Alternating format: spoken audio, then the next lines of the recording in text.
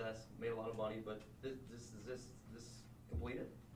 I, you know, we've been fortunate to, um, to to win all the marquee races and, and now championships. So it's definitely something that you know you, you, you put on your your checklist as far as things to do, and the championship is always the one that, that has eluded us throughout throughout my career, and, and to be able to to have a year and put the end of the year together like like we were this year is something that um, obviously kind of puts an exclam- exclamation point on it. So um, just fortunate to to be in this position and, and have been able to accomplish the things that we have, and, and uh, sometimes you have to step back and say, wow, you know, you don't, you don't even, it's really all about next week and what we do, and, and sometimes you lose track of the things that, that you've done and the things that you've been able to uh, accomplish and, and be a part of and, and achieve with, with um, you know, just a lot of people.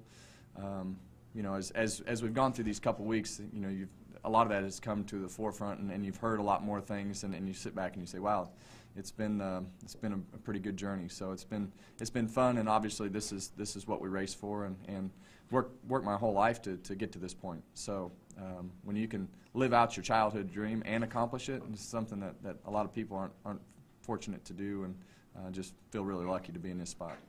So what, what do you do with your downtime between now and that whopping, you know, long vacation you got in February? What, what- I mean, what do you do? I mean, put, look, making the team look forward to next year? Do you get time to actually breathe? You know, I think as you, as you look at our sport, there really is no downtime. We'll get the you know the, the couple days before Christmas um, up until New Year's, and then you're right back at you know what we do. And next week we go home and you have photo shoots and production days that were already on the on the calendar. And um, you know, for for me, I'm we've always been fairly organized because you try to accomplish and, and do as many things as you can to, um, you know, to, to, stay sane, I guess would be a great way to put it. You have to be organized. So um, for, for us, we just try to take those few weeks. And the good news is you get to do all those things. You stay pretty busy, but you get to sleep in your own bed.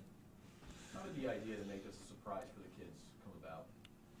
Um, they asked me what I wanted to do, and, and I just thought it would be a great way to, um, you know, to, to show the kids that you can you can come from from anywhere and, and be able to accomplish what you want to do. And you, you know when you when you look at at where the school is and, and all the things that they're they're putting into the school with the, the remodel and the sports teams and, and uh, all the things that are happening around here there's just a there's a good vibe with the school. And I think that that's what these kids deserve on a, on a yearly basis is to um, to be able to have the opportunity to do this. And you know I was fortunate to to be able to be in a position to where I had a lot of support and, and um, you know there's a, there's a lot of influence on whether not not from me. I'm just I'm just going to show up and, and participate in, in what they had already had planned. But when you look at whether it's the teachers the counselors um, you know your sports coaches I still talk to both of my, my wrestling coaches from, from high school. And those those those those people have a lot of influence on these kids and, and um, you know there's a lot of kids that, that have you know, some, some things going on at home that they probably don't understand or don't like, and, and school needs to be a place that they want to go. And, you know, for, for me, I'm fortunate to be able to, uh, to draw some attention to them to hopefully push them in a positive direction. Why is it so important to keep these relationships nurtured back? Well, I think for, for me, it's, you know, I still have a lot of friends and, and, and, and family that, that live here, and, and I feel like, you know, as you, as you look at the school, um, when we first started participating in things, probably 2005, 2006, somewhere right in that seven, or maybe 2007. Um, you know, I just felt like it was it was kind of in a rut, and I felt like you know that, that if we could come here and be a part of things and just draw a little bit of attention to it and, and help with um, whatever, um, you could you could make an impact. And I think as a as a sports figure, uh, you look at a lot of things. There's there's a lot of guys that make a positive impact, and there's a lot of more more so that don't.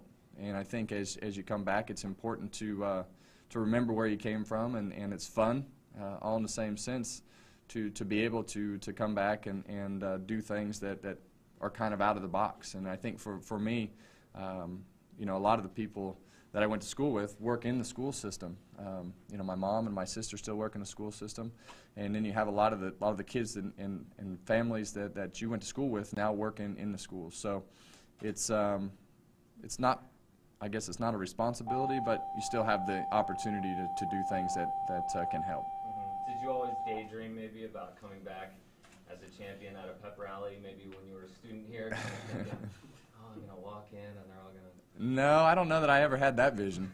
Um, you know, I, I was thinking about you know the first time I walked into the gym, and I think the first time I walked into the to, to the gym was actually during a, a summer league uh, basketball camp that uh, that the basketball team was having, and I'll never forget it. I walked in and I'm like, yeah, I'm way too short to play basketball. So I, I, think I went to I, participated in the camp for one day. I, I figured I needed to find something else to do. Mhm.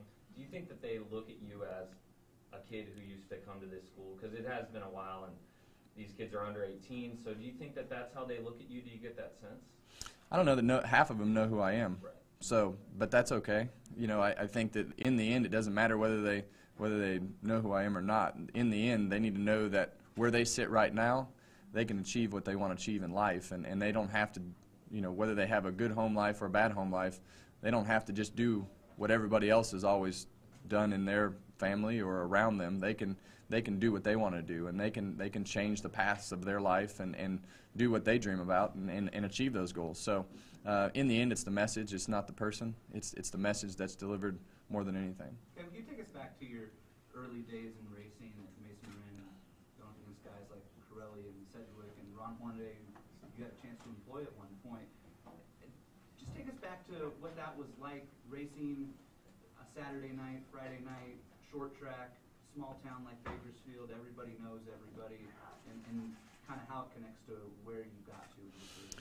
Well, I'm still well connected, obviously, with with Hornaday and and Carelli, and and um, you know, obviously Rick just turned 60, so uh, I grew up as a kid um, watching those guys race, and I and I do make sure that they remember that that they are old enough to be my dad. Um, so, you know, I think um, you know, for for me, it, when I first started going to Mesa Marin, it was we'd show up and it'd be my grandpa and my uncle, and we'd sit there and watch the races all night. So. Platinum Um, Star, please report to the gym. Platinum Star, please report to the gym. is that any of you guys? Yeah. One, we'll go one more question.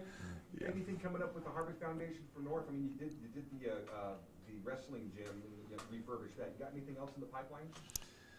Well, right now, um, the last project that we did was with the Cal Ripken Senior Foundation. They did a lot of things uh, with the baseball team and, and gloves and uniforms and, and equipment, um, you know, for those guys. And uh, we had to kind of take a, a year and take a breather. Last, I think it was last year that we did the, the foundation event, and I think we bought uh, uh, 22 sets of golf clubs for the golf team. So it's, um, it's kind of a yearly thing, and, and this year we haven't really had time to, to, to do that, and it's kind of been a transition phase. But we'll have the uh, event back. Uh, next year as, as, as we come back.